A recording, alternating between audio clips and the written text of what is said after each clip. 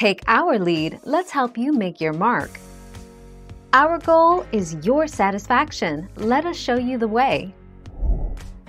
30 to 50%. The ideal relative humidity for health and comfort is somewhere between 30 to 50% humidity, according to the Mayo Clinic. This means that the air holds between 30 to 50% of the maximum amount of moisture it can contain.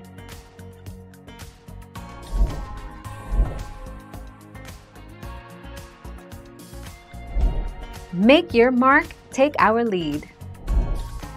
If outside temperature is 10 below to zero, humidity indoors should not be more than 25%.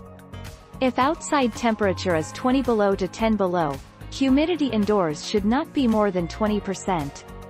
If outdoor temperature is lower than 20 below, inside humidity should not be more than 15%.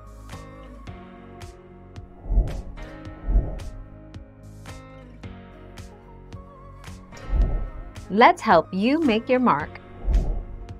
55%. Many species of mold can grow and thrive on humidity alone if the humidity level stays high for a sufficient period of time.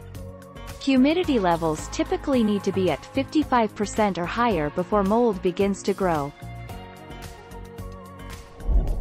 Thank you for watching. Please subscribe and hit the bell notification.